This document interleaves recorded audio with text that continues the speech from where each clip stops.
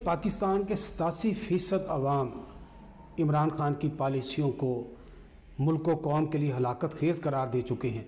मगर इसके बावजूद इसको लाने वाले मुतमिन बैठे हैं। मैं हैरान हूँ और परेशान हूँ। और फिर आप ये भी देखें कि एक अरब डॉलर की किस्त के बदले में, एक अरब डॉलर की किस्त के बदले में ये पाकिस्तान के तमाम असासे वर्ल्ड बैंक के नाम गिरवी रख चुके हैं। और फिर इस पर मुस्तजाद ये कि भी सऊदी अरब से हमने कर्जा लिया, हमारा दोस्त मुल्क है। सऊदी अरब से हमने अगर तीन अरब डॉलर का कर्जा नाकबिल इस्तेमाल, नाकबले तसरफ अपने बैंकों में रखवाने के लिए महज जर ज़मानत के तौर पर, हम उसके बदले में एक अरब बीस करोड़ डॉलर सालाना सूद अदा करेंगे।